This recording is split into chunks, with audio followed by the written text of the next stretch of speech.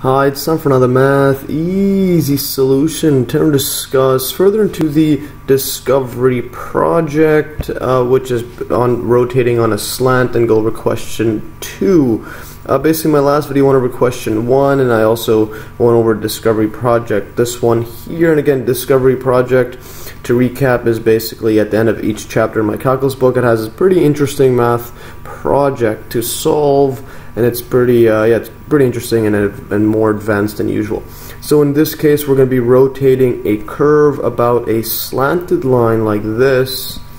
So we rotate about this and in this way try to find the region of the area, surface area or volumes as opposed to rotating about a vertical or I mean a horizontal or a vertical axis such as the x and y axis which I've covered in my earlier videos.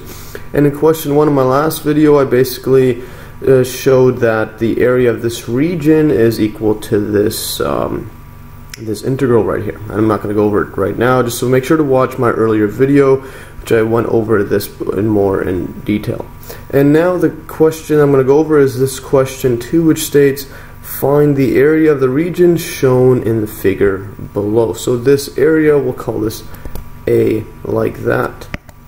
So in this area, this is exactly the same thing as what I derived, but for a general um, general shape under, uh, yeah, for a general region uh, below this curve and above this uh, slanted line. So when we look at this one here, we could basically, well, the solution to this is just use question one's answer. Solution from Q1, so just for the question one, we know that this area is going, going to be equal to, well, let's just go look at this, so it's 1 divided by 1 plus m squared, write that down, 1 over 1 plus m squared. Integral, it's going to be integral from p to q, and this is fx minus uh, mx minus b. This is fx minus mx minus b and then times it by 1 plus m f prime of x dx. 1 plus m f prime of x dx like that. So now we just need to find these values and plug them in. So for this specific example, fx right here is x plus sine x. So we'll write that down, fx is equal to x plus sine of x. And then the derivative, so we know this part, uh, the derivative is going to be f prime of x. This just equals to, well, the derivative of x is 1 plus derivative of sine is cosine x, so recall that it is. And, and you can see the proof below in my video link below on why it's cos of x. So we have this. And now, what we need to do is find the rest. So m M is basically, if you recall, this curve, um, this line, this slant line is y equals mx plus b. In this case, it's it's y equals uh, uh, x minus 2. So this equals 2 in generally, a general line, mx plus b, where in this case, our m is going to be equal to the slope, which is just 1. And b, in this case, is just equal to negative 2. So that's what b is, and then the next one, p and q, those are the uh, intervals we're going from, so that's P, and this is up to Q. And in this case, uh, our P is basically 0 right here. That's P, and then this Q goes all the way down. Here, this is 2 pi. That's 2 pi and 2 pi. This is equal to, well, uh, Q. Alright, Q equals to 2 pi. So we got our Q, our P, and then the next one we need to get, well, yeah, that's all we need. We have our m, m is 1, so we just plug this all in. So a is equal to 1 over 1 plus m is just 1 squared, integral from 0 to 2 pi. That's our 2 pi, which is our q of f of x, which is going to be x plus sine of x minus m, which is 1 times by x minus b, which is, um, so b is negative 2, so negative of negative 2, we'll just put a plus 2. And then this part here, we have 1 plus, and then m is 1, so 1 plus 1 times f prime of x, which is just going to be 1 plus cosine of x. dx, like that. So simplifying this is just 1 over 2, integral from 0 to 2 pi. This x's cancel, so we're left with sine x and then plus 2. Now this part, these add up to 2, so we have cos x plus 2 dx. So we have an integral like this, and uh, we could just FOIL this out. So I'll just FOIL this out, uh, the integrand by itself, just make it easier to do the integral. So when we FOIL this, we multiply this by this, then this by this, then this by this. And you can learn more about the FOIL method, just basic algebra in my earlier videos. I went over that as well. Put that in the video link below. So sine x times cos x, we have sine x cos x.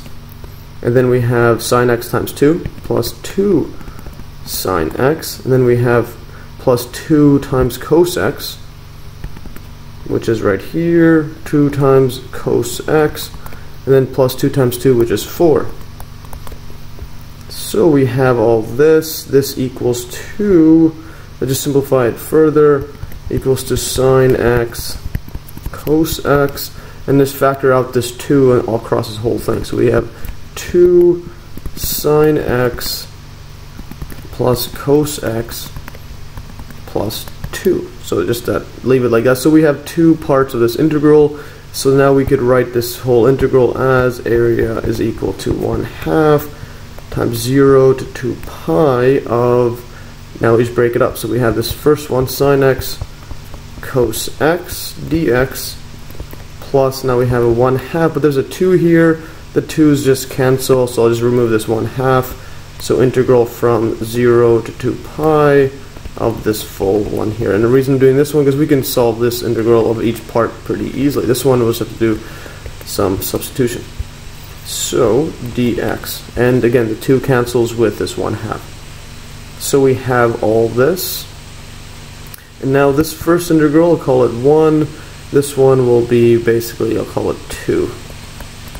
So this is our 1. So what we have is for 1, um, this 1 half of sine 0 to pi sine x cos x dx. Well, in this case, what we could do is use substitution because we have a co because the derivative of uh, of sine x is cos of x. So whenever we have a derivative is the same as another variable inside, we can cancel that out. Use substitution. So in this case, let uh, we'll just let u equals to sine of x. And then in this case, du is equal to cos x and then dx. Yeah, and as you could see right here, this whole du, we just cancel this entire thing out. And now the only thing changes is the vari is the interval. So at right here at u is equal to I mean at, at x is equal to zero, we have we have u is equal to sine of 0, which, well, this just equals to, to 0. So if you recall the graph for sine of x, x, y, sine of x is just something like this. Let me just draw it like that. This is from 0 to 2 pi. This is sine of x. So this is up to 2 pi. And it keeps going on. This is 2 pi. And again, the value is 0. So we have 0, and then at, yeah, so u equals to 0, and then at um, x equals to 2 pi. This is interesting. We also have uh, u is equal to sine of 2 pi, which, as according to this graph, is also equal to 0. So the area has to be 0, in fact. Well, yeah, so now what we have is basically 1 half of u 2 pi sine x cos of x dx is equal to, well, 1 half integral from 0 to 0 of sine of x is u and then du. So this is just 0. You don't even need to solve because interval is, there's no area here. So there's no area, and again, in my properties of integrals videos, my earlier videos, I show when it's integral from the same variable, you're going to be evaluating, well, it's pretty much no area. So it's 0. Yeah, so this whole thing is equal to 0. So 0. So we just look at this whole second part only. So, And again, the reason for this is if you if you were to graph it out, it's going to be symmetric because it's a sine. I mean, it's uh, it goes up and down like a sine curve, so they just cancel areas. It's a net area. So the area is going to be equal to just the, the right side, which is 0 to 2 pi of sine x cos x plus 2. So this is sine of x plus cos of x plus 2 dx. And now we could just evaluate this integral, just solve it, so the integral of sine of x is equal to cos of x, uh, negative cos of x actually, because the derivative of cos of x is negative sine of x, you put a negative there. Then derivative, uh, um, integral of cos of x is just sine of x. And then plus 2x, like that. 0 to pi. This equals 2, and you plug this inside, cos 2 pi plus sine 2 pi and then we have plus this is going to be plugging in 4 pi 2 times 2 pi is 4 pi.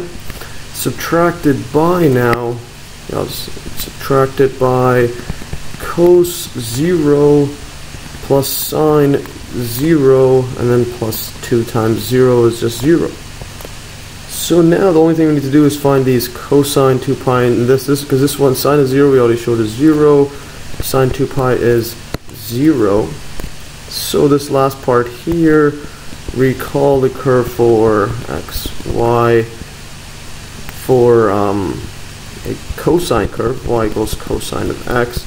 Looks something like this. So where this value is at 1 that's at 0 here. So it's 1 and then this is up to 2 pi and it's symmetric I'm just it just periodic keeps going back and forth, etc. And this value is all the way across at 1.